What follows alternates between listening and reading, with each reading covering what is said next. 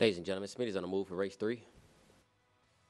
And they are off. And jumping out with the lead is the six, followed by the one, four, two, three, five, eight, seven.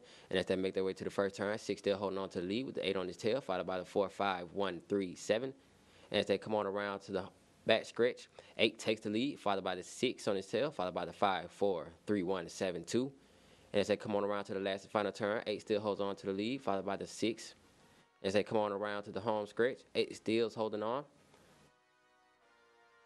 Eight takes the lead, and the eight will be your winning Greyhound.